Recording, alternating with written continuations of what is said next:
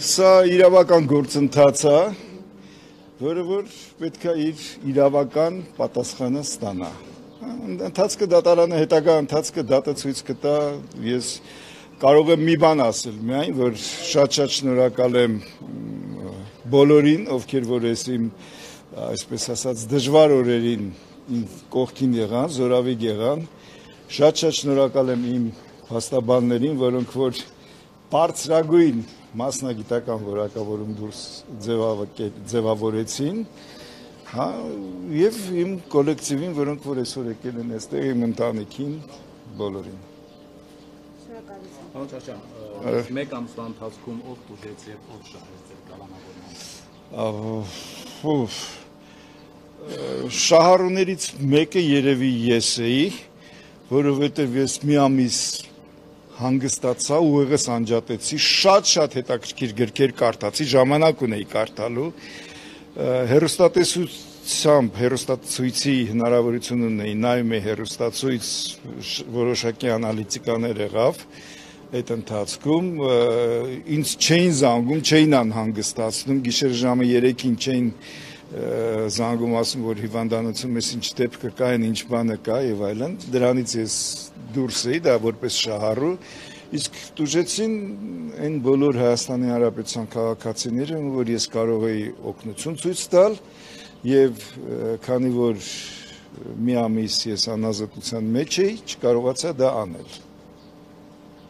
մասնագիտական բարձրակարգ օգնություն։ Եվ հիմա ձեր առողջական վիճակը ինչպես է։ Գիտեք, դա խիստ անձնական հարց է ինձ համար, հա։ Եվ ես երբեք այդ հարցը աֆիշիրվեց անել, այդ հարցը աֆիշիրվեց անել, միայն մի բան կարող եմ ասել, միայն մի բան կարող եմ ասել այդ հարցը, որ այն ամեն ինչը, այն ճանապարհ են, ահրելի մեծ ճանապարհ ինչ որ ես անցել եմ երկրաշարժ, դրանից հետո Արցախյան ազատամարտ պատերազմ, դրանից հետո ծանրագույն աշխատանք մասնագիտական դպրոցի հիմնում, ղեկավարում բժշկական հաստատության, հետո նորից պատերազմ, կ ូវ իդ եւ այլն, այդ ամեն ինչը իր գինն ունի։ Հա եւ դրա գիննա կյանք եւ առողջություն։ Հաջորդ ձեզ փաստացի Իզմիրյան բժշկական կենտրոնի տնօրենը չեք դուք այս ձեր հետակա գործունեությունը հստակեցված է ինչպեսին պետք է լինի ու ինչ եք վերաբերանել Ուրեմն ես Իզմիրյան բժշկական կենտրոնի տնօրենը այս պահին չեմ հանդիսանում իմ կամքով, որովհետև ես եմ անձնապես խնդրել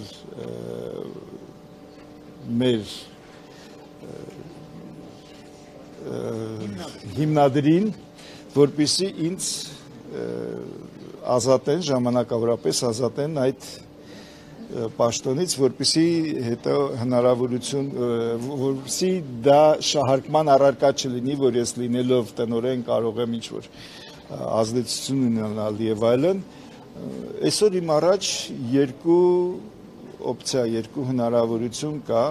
վերադառնալ Իզմիլան բժշկական կենտրոնի տնօրինությանը եւ երկրորդ ընդունել մանդատը Հայաստան Դաշնքի կողմից եւ իմ գործունեությունը շարունակել ազգային ժողովում որպես падգամավոր։ Ես ժամանակ ունեմ, չէ, այդ հարցի մասին մտածելու։ 3 ժամ ունեք, պրոֆեսոր ջան։ Ես էլ նաև հայտարարել եմ, որ օպցիաներից օպցիաներից երկրորդը արդեն հայտարարել։ Երկրորդը արդեն հայտարարել։ Դե որ պաշտպանը ասում է, ես բացարձակապես իմ պաշտպանին հավատում եմ։ Ժորժ ջան, եթե թույլ տաք դուրս գանք արդեն աստեղ։ Շնորհակալ եմ։